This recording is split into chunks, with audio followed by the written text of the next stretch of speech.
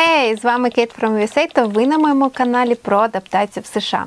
І я розпочинаю новий проєкт під назвою Ти зможеш. Це історії українок та українців, які успішно адаптовуються в США та вже знайшли для себе роботу. Вони зможуть поділитися порадами про те, як складати резюме, як проходити інтерв'ю або оновити свій LinkedIn. І, взагалі, що робити, щоб знайти для себе роботу в США. Підписуйтесь на мій канал, ставте вподобайку цьому відео, а також пишіть в коментарях, як вам такий новий формат. Якщо ви хочете також стати героєм і вам є чим поділитися, пишіть мені в інстаграмі або в телеграмі. Цікаво? Поїхали! Юль, привіт! Дякую, що ти погодилася на це інтерв'ю для моєї нової такої рубрики Ти зможеш. Для тих, хто раніше Юлю не бачив, то вона вже була на моєму ютуб-каналі і була героїнею іншої рубрики. Це українці та українки, які змогли знайти для себе спонсора як незнайому людину. Ти ділилася своєю історією, історією пошуку, як ти приїхала до абсолютно незнайомих людей, як вони тебе зустрічали, і як взагалі розпочиналося ваше сумісне таке проживання спілкування. Скільки вже пройшло з того часу, як ти в США, і як твої взаємини з твоїми спонсорами? Привіт, Катя, дякую, що запросила мене знову. А, Так, справді я е, приїхала в Штати 5 місяців тому в до абсолютно незнайомих людей, яких я знайшла в Фейсбуці. Е, приїхала зі своєю мамою та молодшим братом. Е, Справді я розповідала в попередньому відео, що нас зустріли дуже класно, і е, взагалі родина виявилась класною, і ми проживали з ними майже два місяці. На початку все було добре, як і ділилася ніяких таких складних ситуацій з ним з ними не виникало. Вони нам здавалися дуже привітними людьми і дуже турботливими. Але, на жаль, е, через деякий час виникли ситуації, коли ем, наші права і якісь свободи почали обмежуватися. Е, нас виникла конфліктна ситуація, е, і е, був підвищений. Дуже підвищений тон з їхнього боку, е, і я вважаю це неприйнятним, тому я буквально зібрала речі, забрала свою родину, і ми опинилися на вулиці на іншому континенті. Як вийти з такої ситуації? Е, я тоді чесно не знала. Я була трішки розгублена, але намагалася не показувати, що я розгублена. Я знаю, що в Україні є такі сервіси з швидких швидкого кредитування для того, щоб ем, оплатити готель, в який я переїхала разом з родиною. Uh, і знову почалася моя любима історія про пошуки. Я знову почала ресерчити інтернет, будь-яку інформацію, будь-які сайти. Uh, і насправді я знайшла аж декілька опцій, декілька людей, які готові нам були допомогти на той момент один з варіантів мені підійшов найбільше. Це була жінка, її ім'я Ліс. Вона проживає в Нью-Джерсі. Ми з нею почали спілкуватися, і я зрозуміла, що зі всіх варіантів, які я знайшла, цей варіант нам так найбільше підходить. І близько до Нью-Йорка, тому що моя мета кінцева була це мені переїхати в Нью-Йорк. Я хотіла, щоб моя родина була недалеко від мене. Знову ж таки, ситуація повторюється. Я знову приїхала до незнайомих людей, але на жаль, тоді в мене не було ніяких інших варіантів. Ми були без грошей, без роботи, без знайомих на іншому континенті. Ось таке рішення знайшла. А якщо ми повернемося до ситуації з першими людьми, які вас прихистили, ваші спонсори, чи була якась ситуація, де вашому життю загрожувала якась небезпека? Я не можу сказати, що була прям небезпека, але моральний тиск дуже відчувався. Жінка спонсора я їй не сподобалася. Вона зі мною не розмовляла, якісь там спеціально робила якісь е, мені палки в колеса. Тобто, таке сама ситуація, чому ми вирішили так екстрено залишити їх будинок. Е, це було коли вже моя мама пішла на зустріч з друзями. Жінці спонсора це дуже не сподобалось, хоча вона була попереджена за там за 34 дні. Її попереджали, що моя мама там декілька годин залишить будинок. Вона влаштувала через це істерику, і вони почали на нас скаржитися. Тобто вони написали скаргу на нас в одну установу про те, що ми поводимо себе невідповідним чином. Я так розумію, це те, що ми просто залишали там будинок. Тобто це не було там вночі чи ще щось, це просто вийти кудись. От Вони були цим незадоволені. На наступний день після цього скандалу ми ще були в них, то е, спонсори включили сигналізацію на весь перший поверх, щоб ми не мали змогу спуститись чи вийти, чи там на кухню, чи ще кудись. Тобто, взагалі, повний блок такий був. Після цього я вже остаточно прийняла рішення, що ми залишаємо будинок. Але після цього вони знову написали на скаргу про те, що зверніше не нас, а на мене, про те, що я е, силоміць вивезла. Дитину, тобто мого брата, від від них, що він не хотів залишати, хоча це все неправда. Якщо наше інтерв'ю будуть дивитися люди, які також живуть зі спонсорами, і вони відчувають такий самий тиск в подібній ситуації, коли немає грошей, немає знайомих в США, що би ти їм порадила? Бо ти пройшла цей шлях, і зараз в тебе вже все гаразд, є можливість де жити, ніхто на тебе не тисне можливо, якісь практичні поради. Якщо справді відчувається такий тиск, я б порадила. Перше, це не гарячкувати. Е, по-друге, це розпочати пошуки, тобто їм не повідомляти, що все я від вас йду, а розпочати пошуки. Ну, Якщо ви тільки відчуваєте, якщо це на початку не дійшло до тої стадії, до якої дійшло в нас, то розпочати пошуки і максимально почати як боротися за свою незалежність, тобто знайти підробітку або якусь роботу, або знайти з друзів, знайомих якісь контакти. Дуже важливо мати контактів. Тоді мені в тій ситуації дуже допомогла моя подружка, яку я зустріла на курсах англійської. Тобто, якщо ви відвідуєте курси англійської, знайдіть собі друзів, максимально намагайтеся своє коло спілкування розширити, щоб ви були максимально незалежні від них, і в будь-який момент, якщо станеться якась неприйнятна ситуація, ви могли їх залишити після того, як ви переїхали, який ваш був шлях? Я так розумію, що ти була серйозно налаштована, що тобі терміново потрібно шукати роботу. Ну як я почала проходити співбесіди ще в е, серпні, е, хоча я. Приїхала, точно знаючи, що я піду працювати в свою компанію, зроблю relocate свій офіс, тому що була мова про це. Але на жаль, там були затримки з їхнього боку. Вони мене мені все обіцяли, обіцяли, обіцяли. Я проходила співбесіди, але нічого не відбувалося.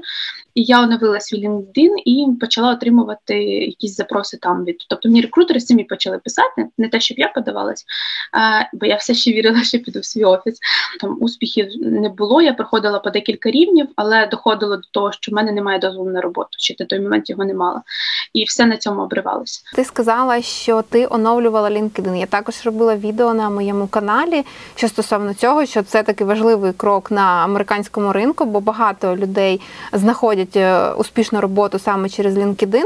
Е, скажи, що саме ти би порекомендувала українцям е, оновити в своєму LinkedIn, бо на українському ринку, на жаль, ця соціальна мережа не така для пошуку роботи, не така популярна, як тут. Е, Так, я е, підготувала спеціально мануал, в якому є абсолютно всі деталі. Там є скріншот моєї сторінки, що саме я зробила, як всі буквально всі поради, які я могла дати, я туди додала. Стосовно того, що я можу сказати зараз про LinkedIn, я оновила, я додала. Е, опис своїх всіх своїх посад на англійській мові з використанням максимально е, такої професійної лексики, щоб дати зрозуміти, що мій рівень англійської достатньо гарний для роботи. Додала геолокацію саме Нью-Йорк, тому що я розраховувала на роботу там. У профілю я додала інформацію, що я не потребую. Ем, Спонсорування на візу тільки чують про спонсорство, про грін-карту, Зразу ні. І я е, включила там є кнопочка, де ти вмикаєш, щоб тебе бачили всі рекрутери. Я її вмикнула. До речі, там є така е, чудова функція, що якщо ти вже отримуєш е, довгий час е, запити від рекрутерів, і в якийсь момент це перестає діяти, вони перестають тобі писати, тому що ти там зникаєш, десь вниз йдеш в пошуку ти вимикаєш цю кнопочку, і через два дні вмикаєш знову, і вони знову починають тебе. Тобто LinkedIn автоматично тебе піднімає в топ, щоб е, рекрутери тебе бачили. Я почала будувати там е, connections, тобто всі можливі зв'язки. Я знаходила всіх рекрутерів, які працюють там в компаніях, якими я була зацікавлена. Я додавала їх до себе. Хтось не додавав, друзі, хтось додавав. Що стосовно твого резюме, воно в тебе вже було готово на англійській мові, чи ти його перероблювала, якось оновлювала також спеціально для американського ринку? В мене резюме було готове на англійській мові. Дуже таке спірне питання стосовно фотографії. Я знаю, що е, багато хто з рекрутерів мені робив зауваження, те, що в мене там є фотографія, що це типу непрофесійно. Ми тут так не робимо. Я додавала фотографію, тому що я вважаю, що е, ну це особисто моя суб'єктивна думка, що класно бачити, з ким ти говориш по твоєму досвіду, що краще працює, коли ти заходиш і надсилаєш резюме, або ти починаєш спілкуватися одразу в LinkedIn і таким чином продовжуєш якось е, будувати відносини з цією компанією? Я активно вела LinkedIn, і також я активно сиділа на таких сайтах, як ZipRecruiter та Indeed. З мого особистого досвіду найбільше е, співбесід я мала через LinkedIn, буквально 60-70% йшло через LinkedIn, тому що мені писали напряму. Але тут важливо розуміти, що мені писали рекрутери, тобто це плюс ще один раунд інтерв'ю. Після рекрутера ти переходиш в руки HR, і в, в кращому випадку вони можуть тебе не порекомендувати. Тобто це довший процес, набагато довший. Стосовно подачі напряму, як я подавала через Indeed і е, ZipRecruiter, я не багато сама подавала, мені там теж багато писали самостійно, але були компанії, в які я подавалась сама. Це дуже великий плюс, тому що це показує, що ти зацікавлений в цій саме в цій компанії, якщо ти пишеш плюс cover letter, і вони дуже дуже цьому радіють і вони вважають, що ти прям хочеш не працювати. Особисто я знайшла роботу через Indeed, Я сама подала е, подалась на ту вакансію, і плюс я відправила е, прям орієнтований на них cover letter. У якій сфері ти шукала для себе вакансії? Е, я була відкрита майже до всього. Для мене важливо, щоб це не були insurance companies і якісь фарма, pharmaceutical. Мені теж не була цікава ця індустрія. Але на жаль, я найбільше отримувала відгуків від них, тому що це дуже дуже сильна, дуже велика м, сфера тут. Компанія, в яку я подалась, вона пов'язана з театрами. Тобто я факту буду працювати на театр. Давай тоді перейдемо до самого, мені здається, нервового етапу при пошуку роботи це проходження співбесіди. І я скажу так, що проходити співбесіду навіть українською мовою особисто для мене це стрес. А якщо говорити про англійську мову, так то взагалі як ти готувалась до цього? Можливо, якісь лайфхаки, поради? Хочу зразу відмітити, що для мене співбесіди не стрес. Це ніколи не було стрес в Україні. Я чесно тобі навіть скажу, я обожнюю проходити співбесіди. Ну до цього моменту, коли я тут прийшла вже 100, я їх обожнювала приходити. Зараз вже ні. Ем, перші співбесіди ти приходиш телефоном з рекрутером або з HR-менеджером. В основному з рекрутером.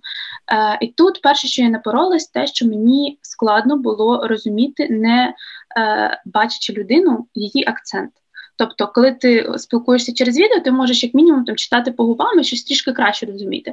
Стосовно підготовки, я завжди е, серйозно підходжу до підготовки, завжди витрачаю на це багато часу. Я читаю всю можливу інформацію, яку я можу знайти про цю компанію в інтернеті. Абсолютно все, які нагороди вони вигравали, якими проектами співпрацюють, абсолютно все, що можу. Е, якісь собі хайлайти помічаю, щоб на співбесіді показати, що я дійсно цікавилась компанією. Е, друге, я читаю дуже уважно опис вакансій, тобто, що вони. Е, що вони хочуть бачити в людині, яку вони е, хочуть взяти на цю посаду.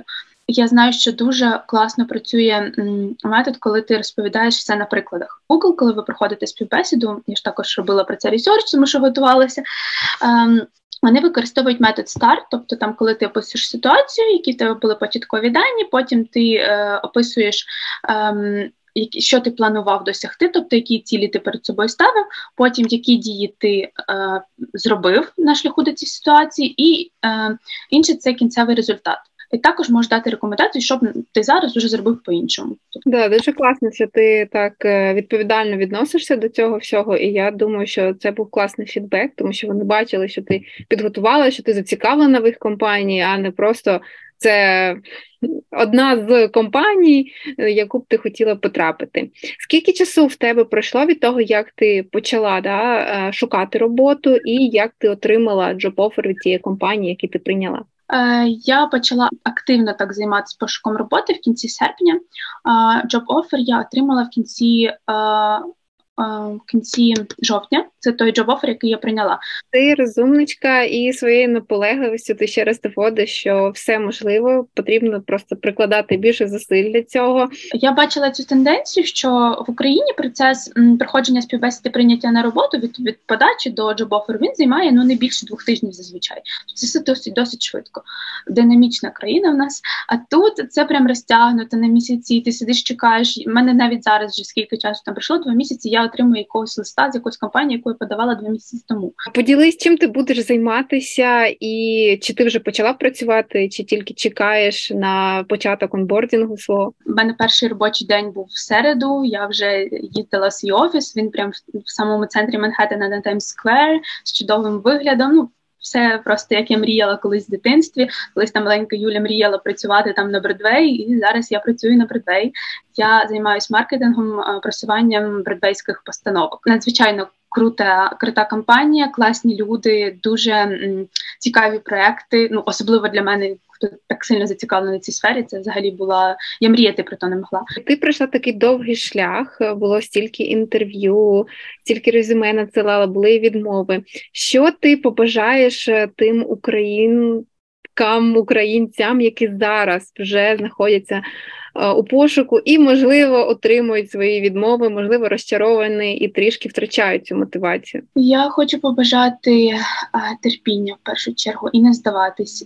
Я чесно скажу, я були моменти, коли я була готова здаватись. У була шалена депресія, тому що в Україні я отримувала дуже багато запрошень на роботу, багато джоб-оферів, які я відсікала, тому що мені було не цікаво. А тут я отримала таку кількість відмов, що це дуже сильно б'є по самооцінці. Я була дуже засмучена. Я вже в мене були думки, можливо, я не маю тут зараз бути, можливо, це зараз не мій шлях, можливо, повернутися там до Європи. У мене такі були думки, але я докладала більше і більше зусиль, вчилась на своїх же помилках. Там якісь е, були питання на співбесіді, які там дала відповідь, якою я не задоволена, розуміла, що це не класно. Я і вивчала це питання максимально з усіх сторін, і потім вже на іншій співбесіді я сама казала це питання людині, і така, от зараз я вам сама відповім. Ну, типу, вчилася на тому, в чому я допускала помилки раніше. Ти створила інструкцію для українців, е, яка може допомогти, якщо ви зараз шукаєте роботу. Кажи детально, що потрібно для цього робити людям для того, щоб отримати цю корисну інформацію від тебе. З радістю поділюся з е, твоїми слухачами, з твоїми фоловерами. Це інструкція там близько 25 сторінок. Вона дуже цікаво зроблена, класна дизайн, там абсолютно все, що є від початку, коли ви починаєте працювати над резюме, тобто навіть в якому темплейті зробити резюме, абсолютно все до кінцевої точки, коли ви вже закінчили інтерв'ю. Тобто процес самої подачі, листи, приклади, моє резюме там є включене, є моя сторінка в LinkedIn, мій каверлетер, який я відправляла, абсолютно вся інформація. Тобто це 25 сторінок такої чіткої структурованої інформації, покрокової інструкції, що вам треба зробити. Е, Я дуже сподіваюся, що він буде е, корисним для е, українців. Е, я дуже буду рада поділитися ним безкоштовно. Будь ласка, напишіть мені в інстаграм, я відправлю вам pdf файл і буду дуже дуже радіти, якщо він вам допоможе знайти свою омріяну роботу. Так, ми залишимо в описі відео нік твій в інстаграмі, щоб люди змогли тебе знайти. Пишіть, я знаю, що ви від Кейт і Юля вийшли вам цю інформацію. Так, також, якщо будуть якісь питання додаткові, я також завжди на зв'язку з радістю допоможу і щоб більше українців змогли влаштувати своє щасливе життя. Перед тим як закінчити це відео, я ще раз вам нагадаю, щоб ви підписувалися на мій канал та підтримували україномовний контент. Ну і обов'язково вірте в себе, і у вас це точно вийде.